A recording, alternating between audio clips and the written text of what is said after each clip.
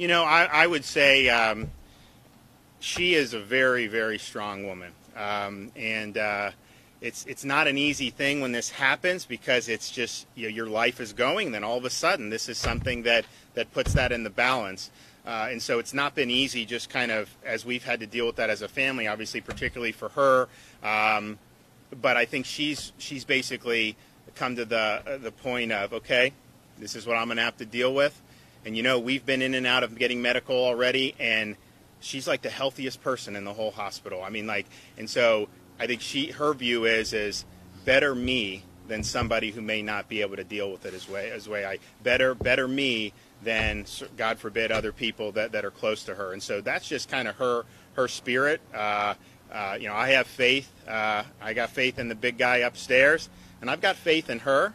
And uh, and I know that you know this is a bad break, but but she's got an awful lot uh, to live for uh, for the rest of her life. And you know we've got a, we've got a lot of kids we've got to raise, and so it's it's it's tough. But um, I think she. Um, uh, what it can serve as, I think she just, you know, wanted to be honest with people because she's been she has initiatives. I mean and some of these things that she may not be able to do in the immediate future that maybe she'll pass the baton to me um, you know but she's going to be back. So she just wanted people to kind of know that. But i do think that the lesson is i mean it wasn't like she was in a lot of pain. I mean these these um, screenings and the things that you go can really, really be life saving. And so I would just encourage folks, you know, not just women with breast cancer, but but men who have, you know, there's certain things that, that we're more susceptible to. Uh, make sure that you go in and do that when you know when the physicians tell you to. She just had a feeling she needed to do it, and so so thank God that um, you know that, that she did. But uh, you know, so we've got we've got we've got a, a road ahead.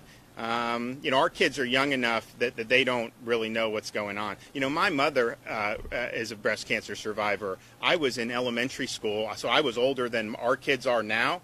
But I can tell you, like, it was, it's a total blur to me. I mean, I know I remember going to that, but I don't remember any of the details about what it was even. I was just too young to appreciate it at the time. So our kids really have no concept uh, of what's going on. And, um, you know, in some respects, um, that's, uh, that's something that'll hopefully not not provide any type of a load on them. But but she she she she fights. Uh, she's tough, and uh, and again. Um, you know, just shows you the type of person she is. I mean, she's uh, uh, basically resigned that you know better that she has to go through it than others who may not be able to handle it as well.